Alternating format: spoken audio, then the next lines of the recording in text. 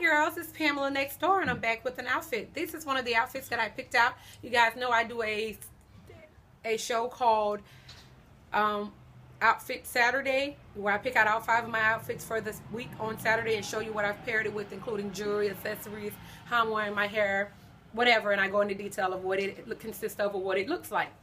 So this is one of the outfits that I picked out and I showed it to you guys on Sunday instead of Saturday. Sorry I was late about that, but if you guys have been watching my channel, you know that I was in the hospital and then I got out and then I have an issue. So rolling right along with that, I only been to work three days.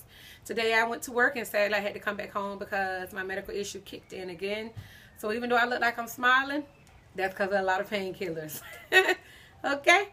So this is that shirt I showed you that was thrifted where it's reversible, where it has the collar and then it'll turn into an open neck on the other side.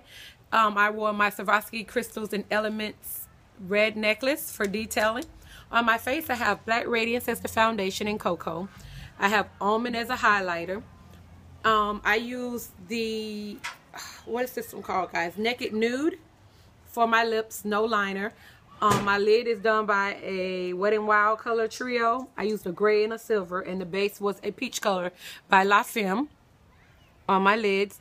My lashes are 79s, and I have on no bottom mascara or liner. Um, so this is the shirt. These are the pants, and these are the shoes with a gold um, chain on them. And then I have on my earrings that I showed you guys and I have on the ring with the this is actually a shell colored in and these are my nails if you were wondering um, that I did